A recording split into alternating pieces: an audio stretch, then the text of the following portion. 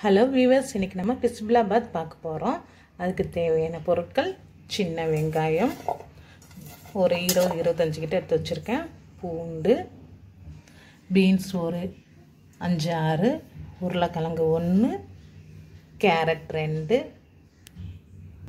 வந்து பட்டாணி போட்டுக்கலாம். இப்போ சீசன் இல்லாதனால இன்றைக்கி வந்து பட்டாணி வந்து போடலை.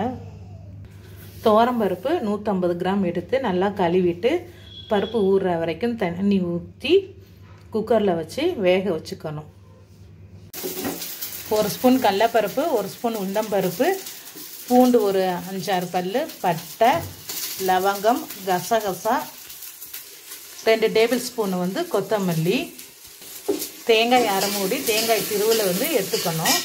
இப்போ இது எல்லாத்தையுமே நல்லா எண்ணெய் ஊற்றி ஃப்ரை பண்ணிவிட்டு நல்லா அரைச்சிக்கணும்.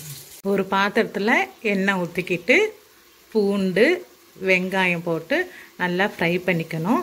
அதுக்கப்புறம் கேரட்டு பீன்ஸு உருளைக்கிழங்கு இதுவும் போட்டு நல்லா இப்போ நம்ம வதக்கிக்க போகிறோம் இப்போ நல்லா வதங்கிருச்சு.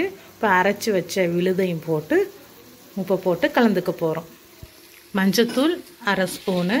தேவையான அளவு வந்து உப்பு போட்டுக்கணும். கருவேப்பிலை தேவையான அளவு வந்து புளி கரைசல் கொத்தமல்லி இதெல்லாம் இப்போ வந்து போட்டுக்க போகிறோம் டம்ளர் வந்து அரிசிக்கு வந்து ஏழு டம்ளர் வந்து தண்ணி. இது வந்து நாலு பேர் அளவுக்கு நான் வந்து சொல்லியிருக்கேன். உங்கள் வீட்டு அரிசிக்கு தகுந்த மாதிரி ஏழு டு எட்டு டம்ளர் தண்ணி ஊற்றிக்கலாம் இப்போ தண்ணி ஊற்றிருக்கேன் தண்ணி வந்து கொதிக்கட்டும். ரெண்டு தக்காளி கட் பண்ணி போட்டிருக்கேன். வதக்கும் போதே போட்டிருக்கணும். மறந்தாச்சு. இப்போ வந்து ரெண்டு தக்காளி கட் பண்ணி போட்டிருக்கேன்.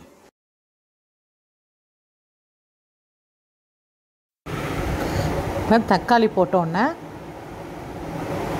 வேக வச்ச பருப்பு போட்டுக்கணும். அப்புறம் தண்ணி வந்து கொதித்ததுக்கப்புறம் அரிசியை போட்டுக்கணும். அதுக்கப்புறம் இந்த பாத்திரத்தை எடுத்து குக்கரில் வச்சு மூடி வச்சுட்டு நம்ம இருபது நிமிஷம் கழித்து வெயிட் போட்டு ஒரு ஏழு எட்டு சவுண்டு வந்து வைக்கணும். வச்சோம்னா பிசுபிலாபாத் வந்து ரெடி ஆகிடும் இப்போ பாருங்கள் நல்லா வெந்துருச்சு. இப்போ பிசுபிலாபாத் வந்து ரெடி ஆயிடுச்சு. புசில் பாம்பாத்தோட உருளைக்கிழங்கு சிப்ஸு. ரெடி ஆயிடுச்சு. தேங்க்யூ